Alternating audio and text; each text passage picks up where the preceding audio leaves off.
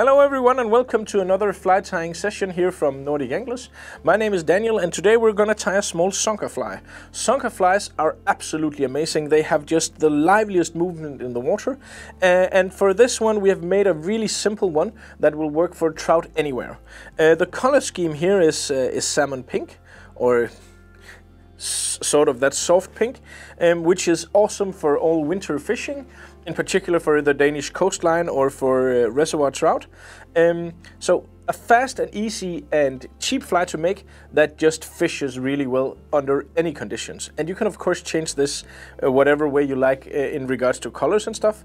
This is a type fly, so this is something that just works and works and works. And if you want to add to, to add this to your box in the, in the color combination that you like, then feel free to do that. So now we're gonna tie Miss Piggy.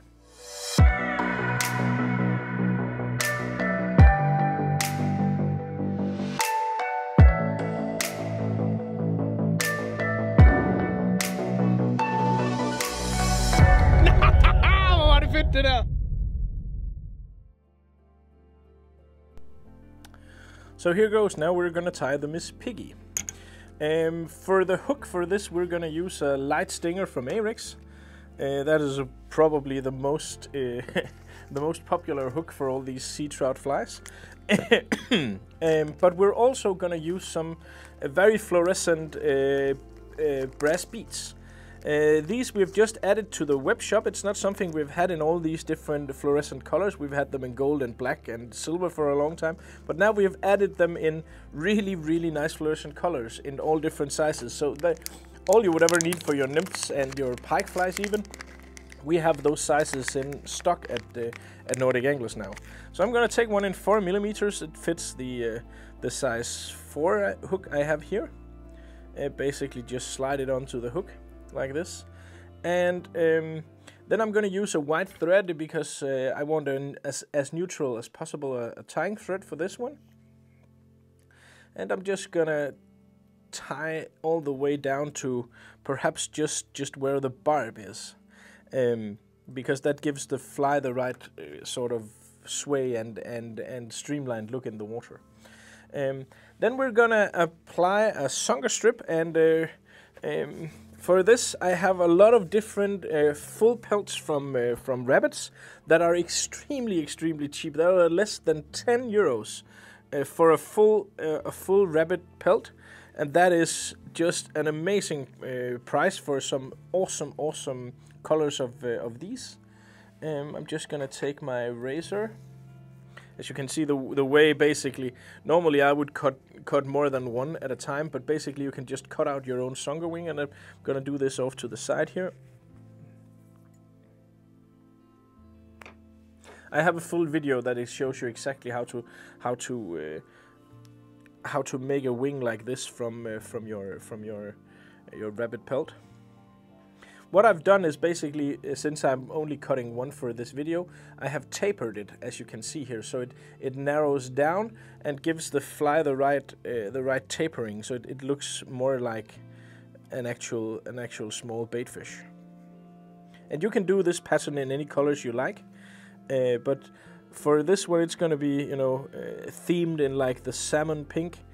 Um, color scheme, which basically is, is one of the most popular in Denmark for sea trouts, uh, due to a very famous shrimp, shrimp that's called the pattegrisen, uh, that has these colors, and uh, they are awesome colors. So we're gonna tie this in in in that color scheme. That's also why we've dubbed it Miss Piggy. The next thing is uh, we're just gonna use some. Um, some uh, cactus uh, chenille for the body this is basically just some flash fibers woven in between some uh, some uh, cotton fibers. And this is an easy way to make a really nice and shiny body on your flies that uh, that just looks good and uh, and attracts a lot of attention from the fish. So basically I've just pulled out some of the flesh fibers here. And then I'm going to tie this down just where the uh, the zonker wing uh, was attached. Then I'm gonna move the tying thread all the way up to the bead. There we go. And then the great thing about this is basically you just You just turn it, fold it, hold it a little back, and then just turn it.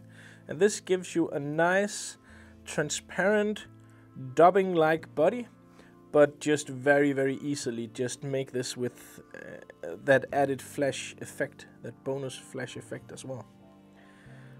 Just gonna take one more turn here where the bead is. There we go. Cut away the cactus. And you see you have a nice shiny see-through body that looks amazing in the water, is inexpensive and easy and fast to tie. Then I'm gonna stretch my my rabbit zonker here and tie on top of all of this. And the reason why I tie on top of all of this is that will give me the right tapering on the zonker wing as well. So if, if you if you moved all the hairs away, you would not have these shorter hairs tied in with along with the rest, and that would basically give you a very abrupt uh, ending to uh, to the fly, and that would not look very good. Now we can cut away all of this. As you can see, now I have a big bulky part up here, and this does not please the eye. I don't think the fish mind that much, but I mean every one of us knows that the prettiest fly is the one we tie onto the leader first, and then we use all the Quasimodos later. I'm cutting away as much as I can here. And as you can see, this still looks a bit abrupt and a bit... There is this bulk here that does not look pleasing to the eye. So we're going to use a trick to actually cover that. We're going to use a hackle. And uh, salmon, salmon pink uh, hackles are really hard to come by. I have just gotten some, uh, some really nice hen capes uh, from Whiting in, uh, in salmon pink. And these feathers are so awesome and nice and relatively soft in their, in their, uh, in their um, fibers. So perfect for a fly like this. And basically we're going to use this to to cover up that that annoying looking bulky part here on top of the head. I'm going to tie this in, in at the tip. There we go. Just apply some pressure and some tying thread. Cutting away the part that I do not need. And then basically I'm gonna turn the hackle here on top of all of this.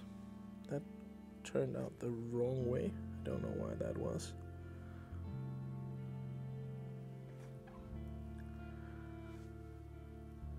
Try to fold the hackle fibers so it has it they they have their natural curve is is is turned backwards.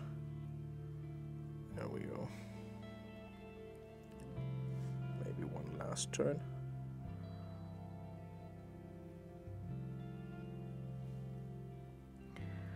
And this also gives the fly the nice, the nice uh, properties and and the nice look of of it tapering and being more dense and more bigger at the end of the fly at towards the head, which is gonna make this look exactly or re, re, resemble a small bait fish a lot more out in the water.